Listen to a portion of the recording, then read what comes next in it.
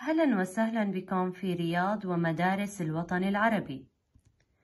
اليوم سوف نبدأ بالدرس الرابع رسم الزاوية. أهم النتائج لهذا الدرس سوف نرسم زاوية معطى قياسها بالدرجات. الأدوات المستخدمة لرسم الزاوية أولاً المسطرة، ثانياً المنقلة.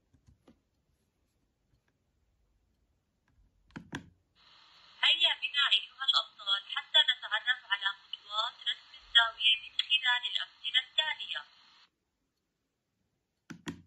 ارسم زاوية باء ألف جيم قياسها ثلاثون درجة. أولاً ارسم قطعة مستقيمة ألف باء. ثانياً نلاحظ من اسم الزاوية باء ألف جيم أن رأس الزاوية هو النقطة ألف. إذا نقوم بتثبيت مركز المنقلة على هذه النقطة وهي النقطة ألف ونثبت القطعة المستقيمة ألف باء على خط الصفر ثالثا ابدأ قراءة التدريج من الصفر وحتى ثلاثون درجة. رابعا ضع نقطة عند الدرجة ثلاثون وسمها بجيم. خامسا صل بين النقطة ألف والنقطة جيم لرسم الشعاع ألف جيم. وبهذا نكون قد رسمنا قد رسمنا الزاوية باء ألف جيم والتي قياسها ثلاثون درجة. لاحظ أن هذه الزاوية هي حادة. المثال الثاني. أرسم زاوية مقدارها تسعون درجة.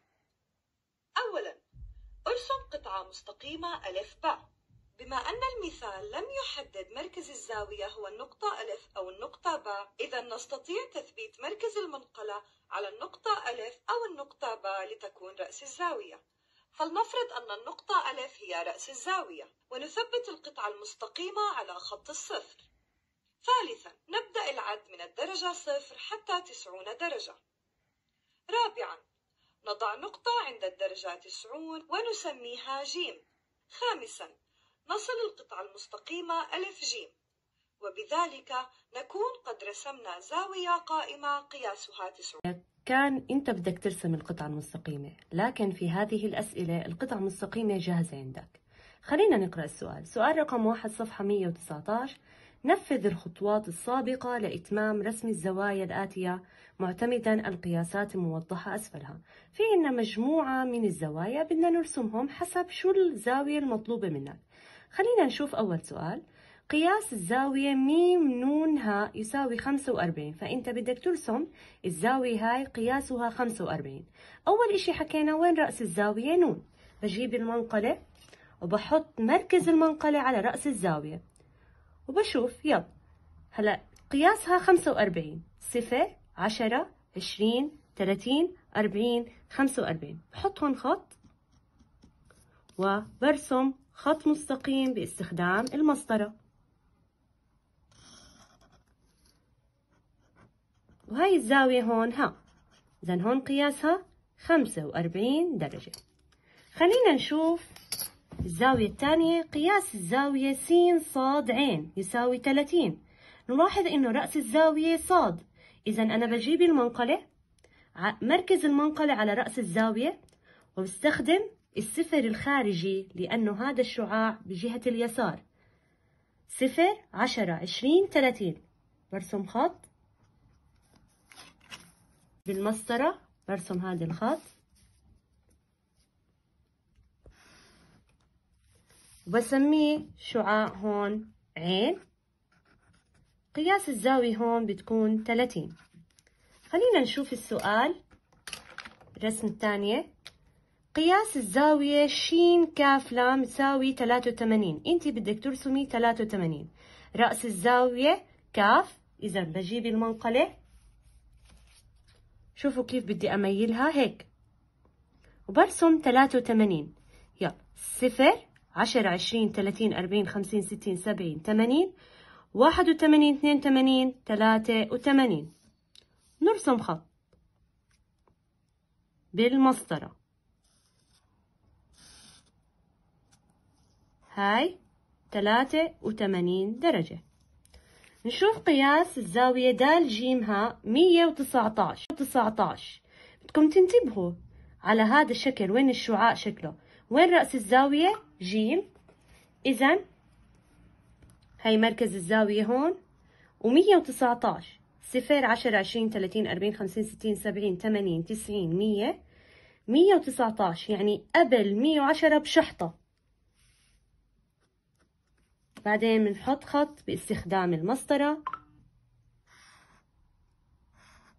فبيكون الزاوية هون ها شعاع 119 آخر سؤال. قياس الزاوية واو زين حاء 166 وين رأس الزاوية؟ زين. شوفوا كيف المنقلة اتجاهها راح تكون. فب يلا بعد. ل 166 هاي 100 110 160 بعد ست شحطات. واحد اثنين ثلاث أربع خمسة.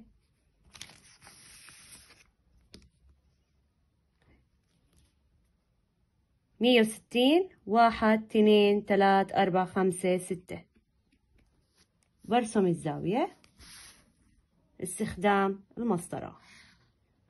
كون الشعاع هاي ح. هاي قياسها مية وستة وستين. اثنين صفحة مية وعشرين. أكمل رسم الزوايا الآتية ثم دع زميلك يتحقق من قياساتها. عندي قياس الزاوية ها واو زين بتساوي تسعين. بحكي مين رأس الزاوية؟ اللي هي واو. فرح أستخدم المنقلة مركز المنقلة على رأس الزاوية وارسم تسعين. صفر عشرة عشرين ثلاثين أربعين خمسين ستين سبعين ثمانين تسعين. بحط عليها شحطة. وباستخدام المسطرة برسم الشعاع الثالث وهو زين وبحط هون تسعين درجة. قياس الزاوية حاء طاء يا مية واثناش. إذا مين مركز الزاوية رأس الزاوية؟ طا. فبالتالي بعمل هيك طلعوا كيف؟ اتجاه المنقلة. انتبهوا على اتجاه المنقلة. وبرسم مية واثناش هي عندي مية وعندي مية وحداش مية واثناش بحط شحطة تكون هيك. هاي هي شعاع هذا. يا وهون مية واثناش قياس الزاوية لام كاف ميم مية وثمانين فهاي كتير سهلة ترسموها هيك لأنه هاي هي عبارة عن زاوية مستقيمة. خلص إذا مية وثمانين نرسم خط باستخدام المسطرة. يكون الخط هيك. هذا الشعاع الثاني. بسميه ميم. وهي كل الزاوية مية وثمانين درجة. السؤال الثالث صفحة مية واحد وعشرين واجب بيتي. سؤال أربعة صفحة مية واحد وعشرين انتبهوا على هذا السؤال. في أي الأشكال الآتية يعد شعاع لام عين عامودي.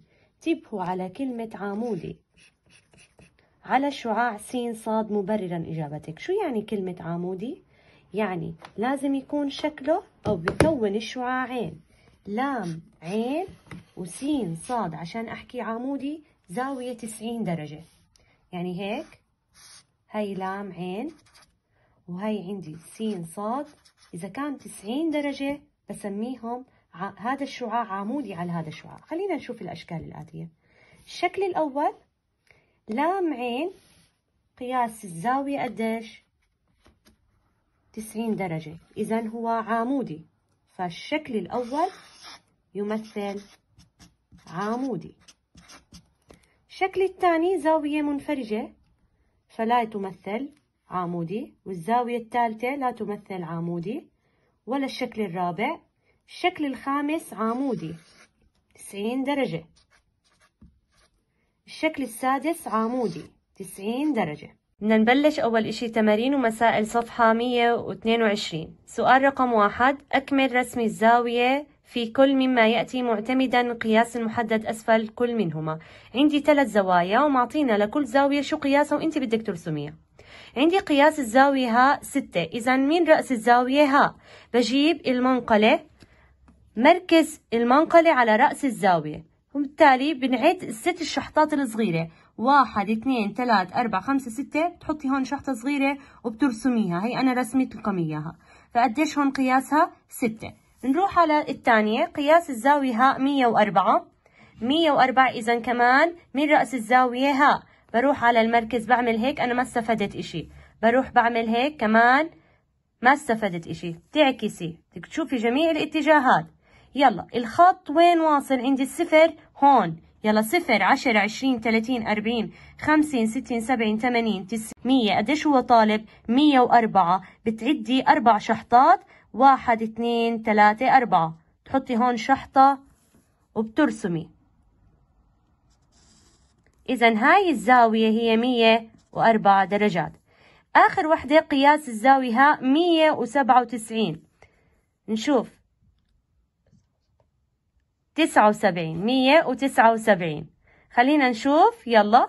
صفر عشرة عشرين تلاتين أربعين. طلعوا الخط. وين؟ عند الصفر هاد صفر عشرة عشرين تلاتين أربعين خمسين ستين سبعين تمانين تسعين مية مية وعشرة مية وعشرين مية وتلاتين مية وأربعين مية وخمسين مية وستين بتعدوا تسع شحطات صغيرة. واحد اثنين ثلاث أربعة خمسة ستة سبعة ثمانية تسعة. هي مش كتير.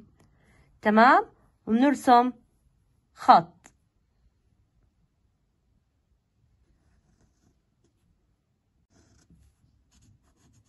هاي كلها مية وتسعة وسبعين.